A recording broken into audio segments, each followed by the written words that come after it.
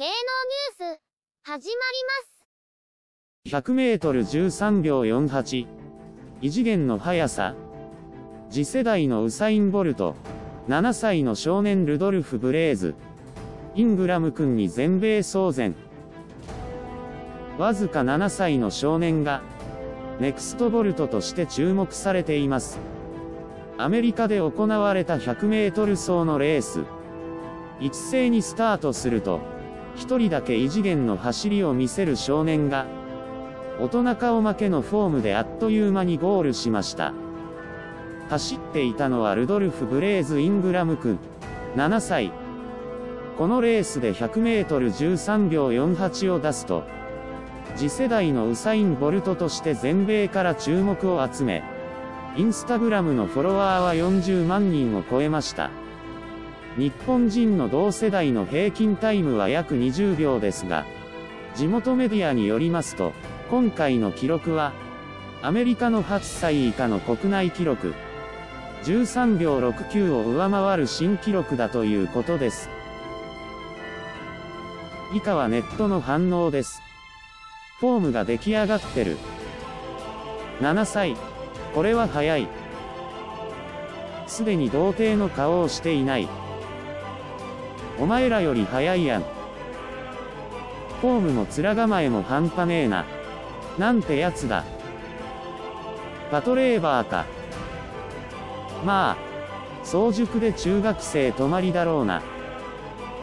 名前のスター性がえぐい。2枚目見て。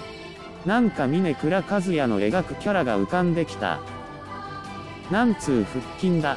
遺伝子操作か得意体質なんじゃ。このガキなら俺でも勝てるわ。あの年で腹筋バキバキって。体脂肪低すぎ。もっと炭水化物食わせろ。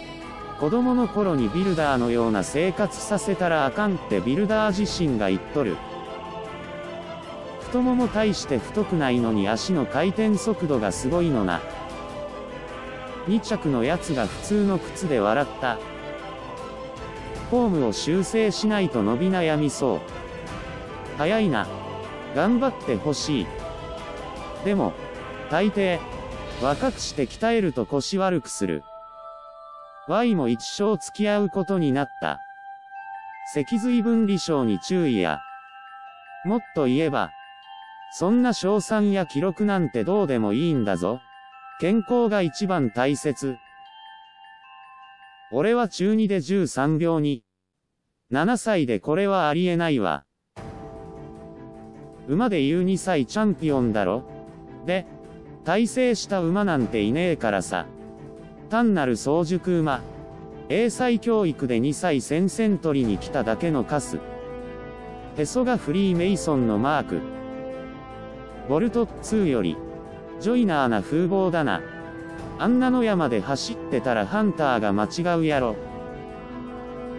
髪型のせいかプレデターっぽい。フォームが大人みたいでびっくり。筋肉つけすぎ。身長伸びなくなるぞ。まさ、まだ Y の高校の時のベストに及ばんわ。腹筋すげ。7歳でこんなに割れてるのは正常なのだろうか。俺も同じくらい小さくて速いけどな。プロテインやってるだろ。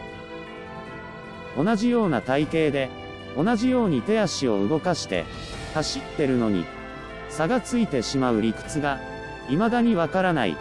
チーターはみんな速いのに。小さいうちからあまり筋トレはしない方がいいぞ。すげえ腹筋だ。こういうのは成人あたりでもすごければいいんだが、成長につれて記録伸び悩みなんて事例たくさんあるじゃん。これミオスタチン関連肥大じゃないの？いくら素質あって鍛えても7歳でこうはならないよ。今更だけど、子供って頭大きいんだな。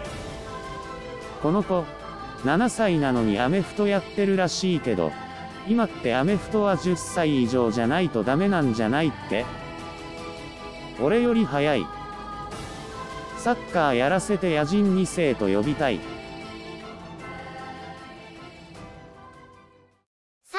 でご視聴いただきまして、ありがとうございました。よろしかったらチャンネル登録をお願いします。